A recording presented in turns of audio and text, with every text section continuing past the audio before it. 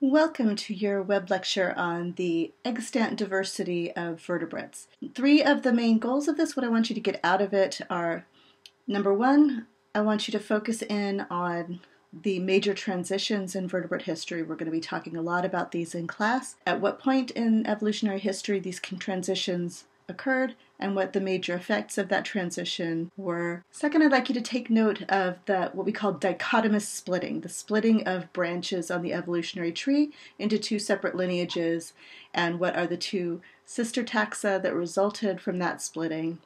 And thirdly, names of groups, the ones that I mention in this web lecture are the ones that I want you to know and understand and be able to use. So keep an eye out for those three things as we go through the living vertebrates. This earliest part of the tree is the subject of some controversy.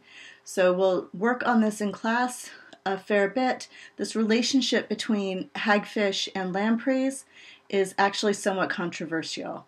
So we'll go through the details of that in class, but for the purposes of this web lecture, we've got a major set of synapomorphies of shared derived characters that lampreys share with the rest of the vertebrates that hagfish do not share. So we're going to put these synapomorphies here, applying to lampreys and the rest of the vertebrates. And of course, this is the presence of vertebrae. Secondly, all of these groups have two semicircular canals in their inner ear. So these are organs that are involved with detecting the orientation of your body in space.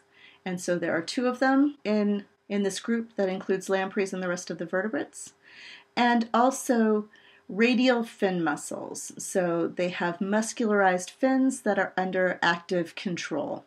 So in the case of lampreys, these are just dorsal fins. Uh, hagfish do not have muscularized fins. So hagfish and lamprey are sometimes joined together in a group called cyclostomes that refers to the fact that they do not have jaws in their mouths. This is clearly an ancestral character, right? You had no jaws before you had jaws. This is not a basis for joining them together in a clade, but there are some similarities at the molecular level that suggest perhaps they should be together in a clade as the sister taxon to the rest of the vertebrates rather than separated. So let's take a look at what these different organisms look like. So this is the charming hagfish. Hagfish again have no jaws. They generally live at the bottoms of oceans and feed on detritus, so dead and decaying animals. They use their jawless mouth to sort of suck off bits of the decaying carcass.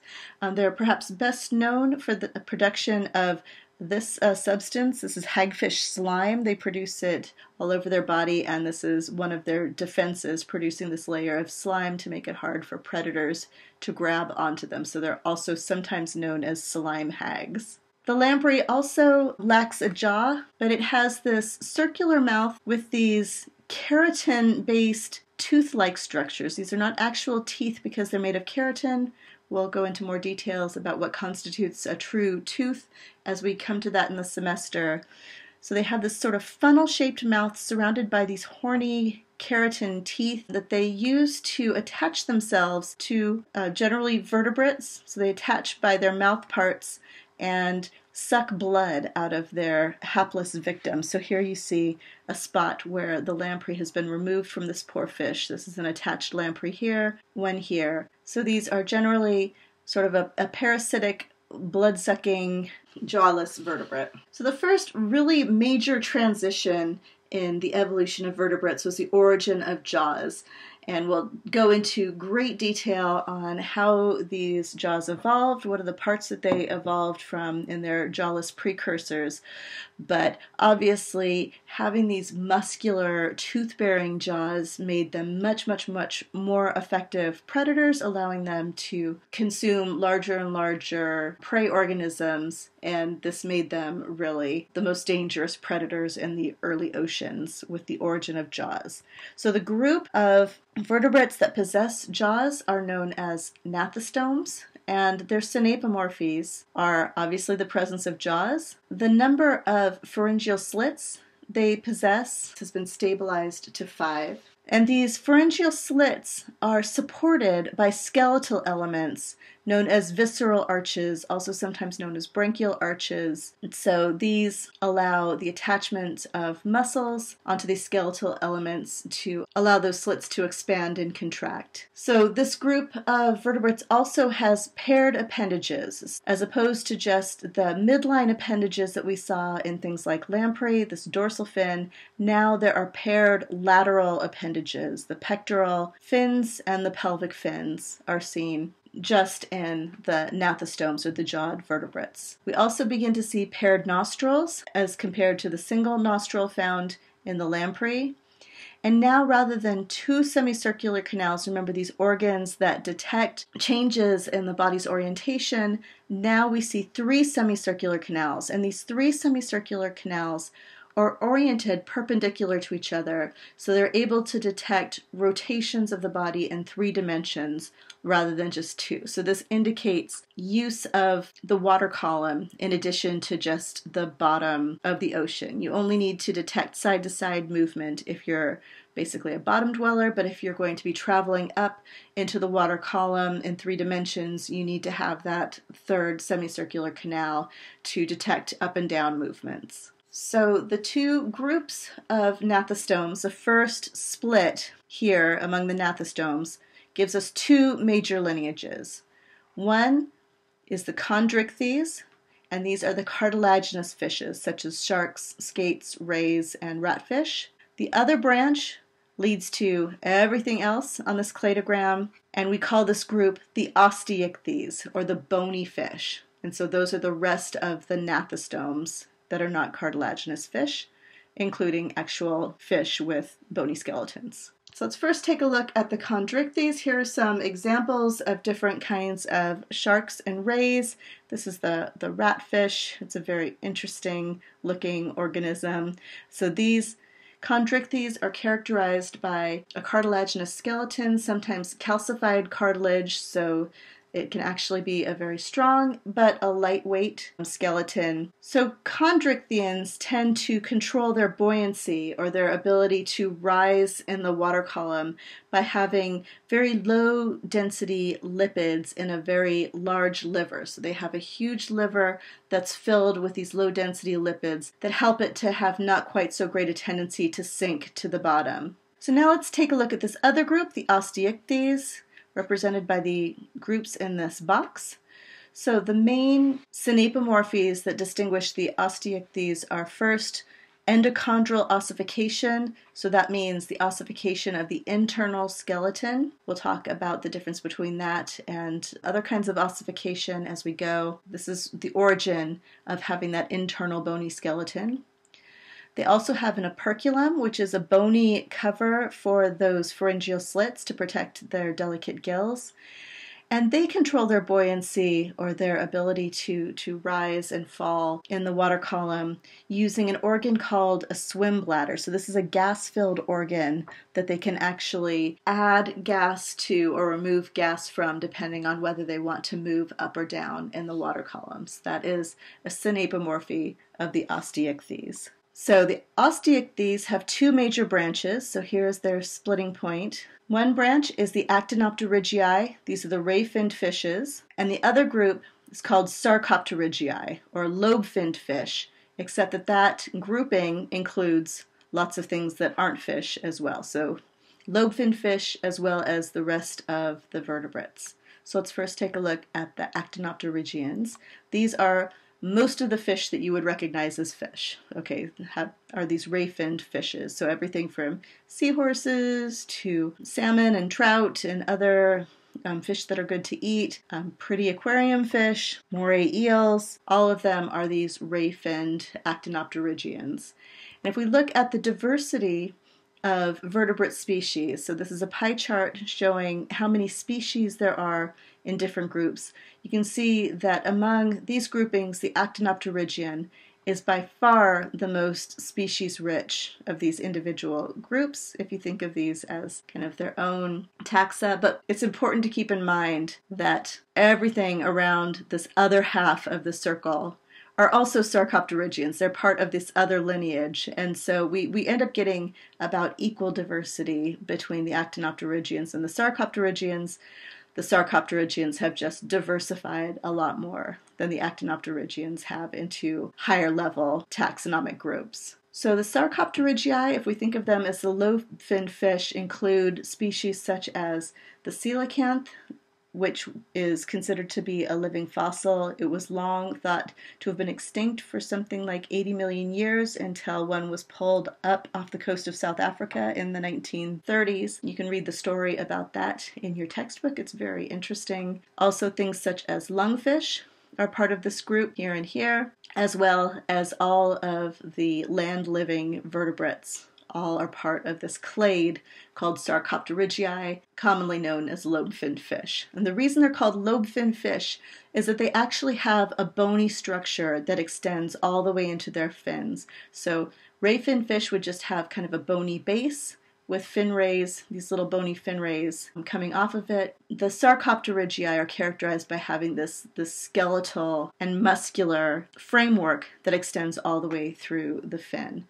And so this is a very likely precursor to the bony limbs of tetrapods once we move on to land. And so we'll talk a lot about that transition from this kind of Sarcopterygian fin that has a bony framework but also fin rays to a land dwelling tetrapod limb that has pretty much the same series of bones in it and ends in toes rather than fin rays. So the next split from this lineage of Sarcopterygians are called the tetrapods. And here we have another major transition in the history of vertebrates. The transition to land included um, a large number of different evolutionary novelties to be able to survive on land. And again, we'll talk in great detail in class about what all the challenges were, but you can probably imagine many of them the importance of retaining water so that you don't dry out when you're on land, the ability to hold up your body weight on the surface. You don't have water kind of supporting your body weight anymore. You need strong limbs to be able to push your belly up off the surface. Lots of different features associated with this transition to land in this group called tetrapods. So, tetrapods consists of all of the land dwelling vertebrates,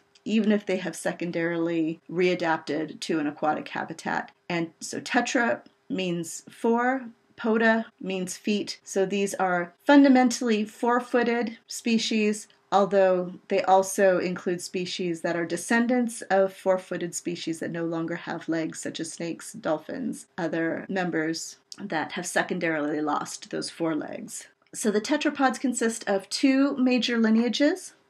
One of them is the amphibians, so that includes newt salamanders and frogs. The other major lineage is called the amniotes, so this is all the rest of the tetrapods besides amphibians. The amphibians include lots of species that live on both land and water. That's what the name amphibian means. And one of the features of amphibians is that the eggs they lay are very delicate, not very waterproof structures. So all of the amphibians are reliant to some extent on finding some source of water to lay their eggs in. They've never become fully independent of the water.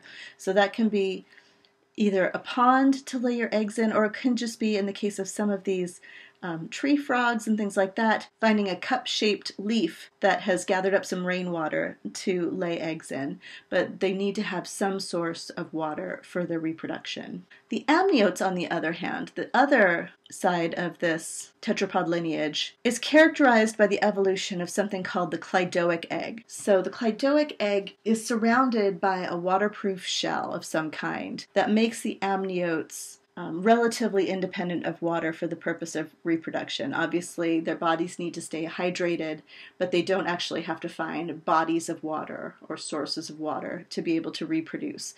The cleidoic egg creates a watery microenvironment within the egg that is sufficient for the development of the fetus. So, that is the common feature of this group called the amniotes. And the amniotes consist of basically all of the tetrapods excluding the amphibians. So the amniotes are divided into two lineages. So here's the split between the Sauropsida, which include the birds and reptiles, and the Synapsida, which includes all of the mammals. So here are some examples of synapsids and sauropsids, all of the different species of mammals which are characterized by fur and mammary glands are part of the synapsid lineage. So kangaroos and bats and seals and mice, all of the amniotes that continue to lay these cleidoic eggs are part of the sauropsid lineage and include such things as snakes, birds, dinosaurs, and turtles. So let's take a look at the sauropsid family tree in particular. So here we have the split between synapsids coming up to the left here and sauropsids coming up to the right. So let's skip this part for the time being and look at this major division here in the sauropsids. So the sauropsids are divided into two major groups the lepidosaurs here and the archosaurs. So those are the two major groupings of sauropsids. And the placement of turtles relative to these groups is at this point uncertain based on the evidence. So it had long been thought that turtles belonged here, branching off from the sauropsids before the split between the lepidosaurs and the archosaurs. But more recent evidence suggests that they actually belong in this clade along with the lepidosaurs and archosaurs. But it's still not clear whether they should be part of this lepidosaur lineage or part of the archosaur lineage. So what we see here is the lepidosaurs consist of the snakes and lizards, as well as another group called the tuataras, also known as Sphenodon. That's the genus name for this group. The archosaurs consist of birds, dinosaurs, and crocodilians. So here are some examples of lepidosaurs, different snakes and lizards. Um, this is the tuatara that you see here um, in the middle. It looks mostly like a lizard but has some specialized features that we'll talk about later. The archosaurs are distinguished by some features of the skull. So they have a couple of holes in their skull that are particular to archosaurs. These are called fenestrae. Fenestra is the singular, it literally means window. And so they've got one hole in their skull in front of their orbit or their eye socket and another one in the middle of their jaw. So this is common to all of the archosaurs.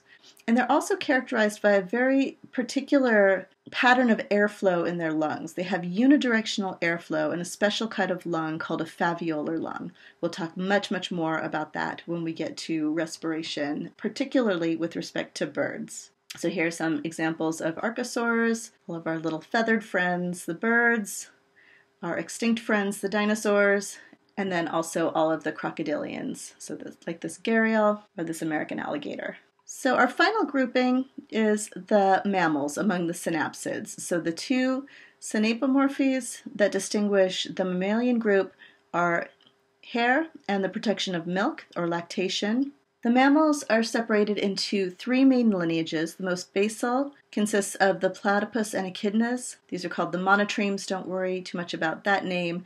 But these are mammals that actually do still lay eggs. So these are egg laying mammals. And then the other branch consists of the two groups of therian mammals. So there's the Metatheria, those are the marsupial mammals of Australia, and then there are the eutherian or placental mammals. This distinction between supporting fetal development using a placenta to exchange blood with the mother as compared to having a very early birth without the formation of a true placenta in the case of the marsupials and finishing development within a pouch in the mother's body and completing most of the development outside of the uterus.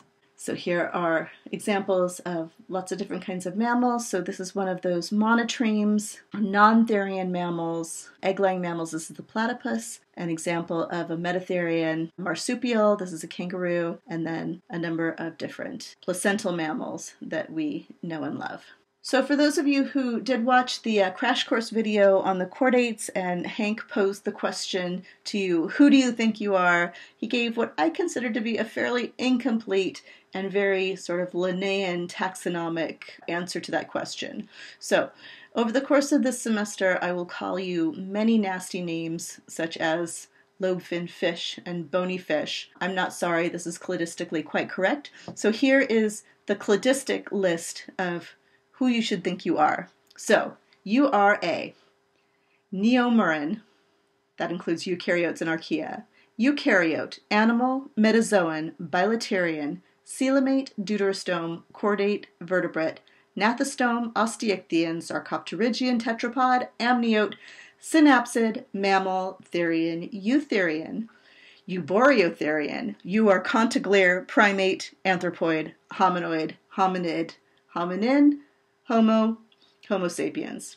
So that's who you think you are.